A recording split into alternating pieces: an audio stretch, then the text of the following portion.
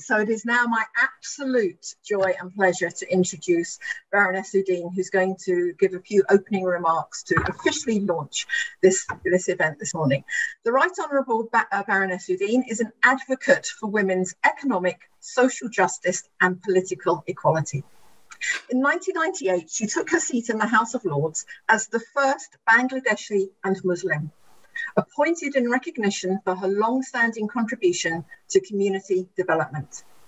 A former advisor to the British Prime Minister on community cohesion and improving women's participation in politics and public life, she has served on the Select Committee of European Affairs and chaired several government task forces. As a mother of a son who lives with autism and learning disability, Baroness Uddin is a devoted champion of disability rights and for seven years was a board member of Autism Speak. She is an officer and member of the all party parliamentary group on the Commonwealth, Africa, International Students, Islamic and Ethical Finance, and chairs the Commission, National Commission of Muslim Women. Baroness Uddin, bless you for taking the time out of your ridiculously busy schedule that makes me go weak at the knees just thinking about it. And over to you. Thank you, thank you, Katie. Um, good morning. Uh, it's such a privilege to take part Thank you so much, Laura Murphy, for your vision and your dedication to this incredible work. And uh, this morning, I am absolutely uh, delighted to be sharing this session, this platform with Rania Abdullah, Rana Os- Osekar, Natasha D'Souza, and Dr. Anita Davis Defoe. Um, welcome um, to this uh, wonderful gathering, and it's such a privilege again. Um, my name is Manzila uh, Pola Uddin, and um, I've been a member of the House of Lords for the past uh, 20, this is my 23rd years.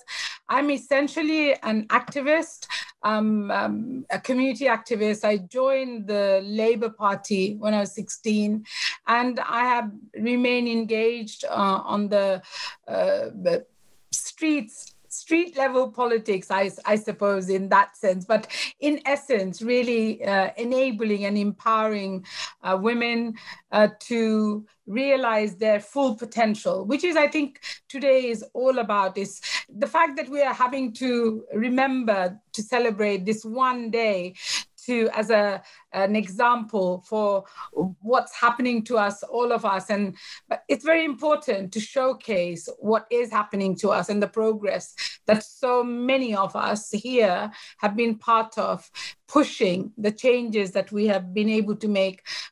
I mean i take changes very personally and very specifically.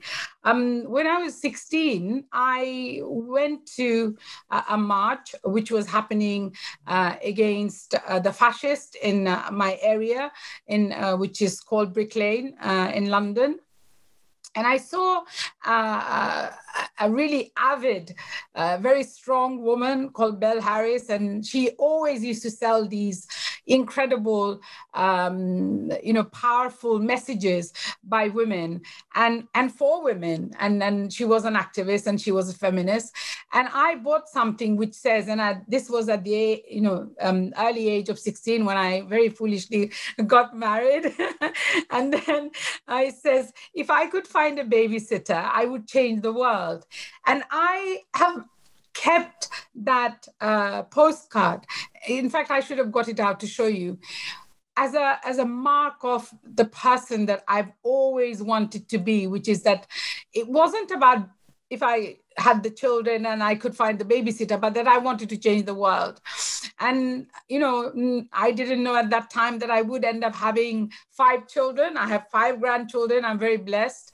But the the innate uh, drive because I just come from Bangladesh at the age of 13 uh, mm, sort of being relieved uh, by my family uh, to be here joining my father after the war of liberation.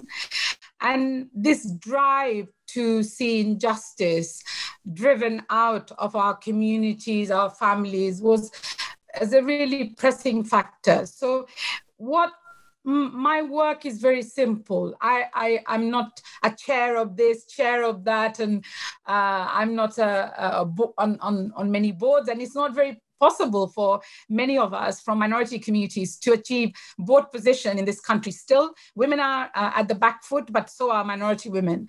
So. Um, I have spent large amount of my lifetime devoted to trying to make a difference to the one woman that comes across me. I think that's one woman at a time because I feel that that's really important that you when you know for women's well-being which is what Katie and Laura and Roger have been trying to pursue uh, is really critical. So in Parliament, I focus very, very much on um, details around women's development, women's mental well-being, always remembering that, you know, I have four sons and four grandsons, and still married to the same man for my sins.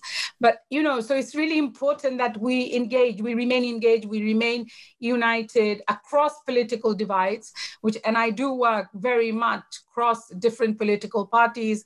Um, and in House of Lords is such a blessing that we're able to do that. We are able to collaborate. So um, I just want to really finish uh, because uh, um, there are so many uh, incredible women taking part. I just wanted to introduce you, um, myself to you, and, and maybe take uh, conversations, not only here, but uh, outside this platform elsewhere. Um, my main focus has been very recently, um, as Roger said, I've been trying to establish an organization called uh, National Commission on Muslim Women.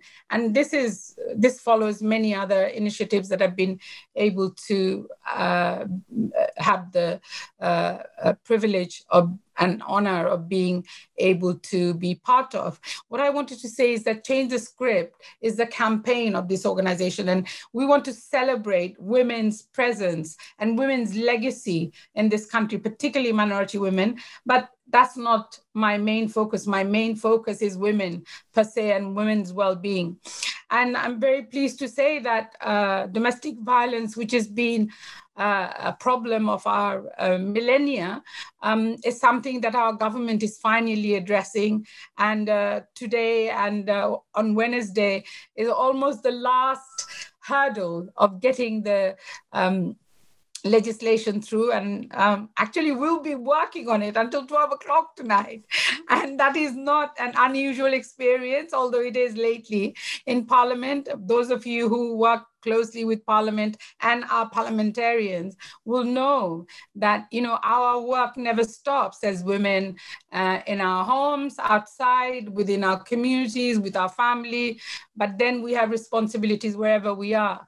And uh, you know, um, my final point will be that it is remarkable this new innovation of uh, online working and being able to reach out.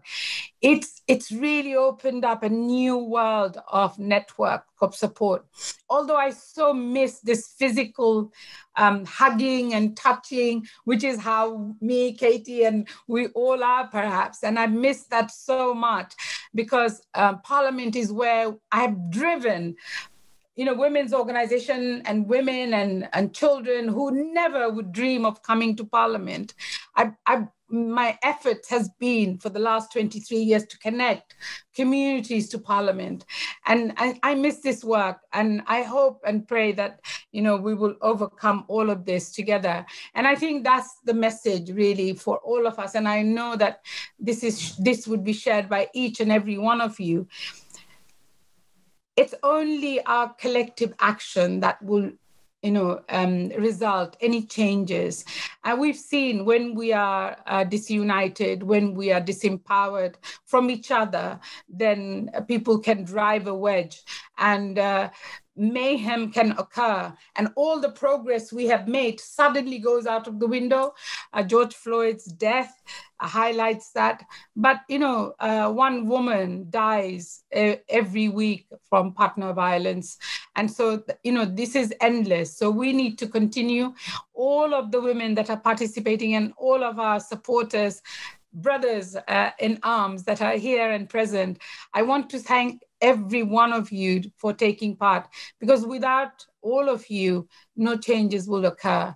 So um, just my very final point is I'm on social media um, at uh, um, Baroness Uddin, uh, Twitter, which I'm not very great on, but Facebook and LinkedIn, and I look forward to seeing you and hearing you and being with you.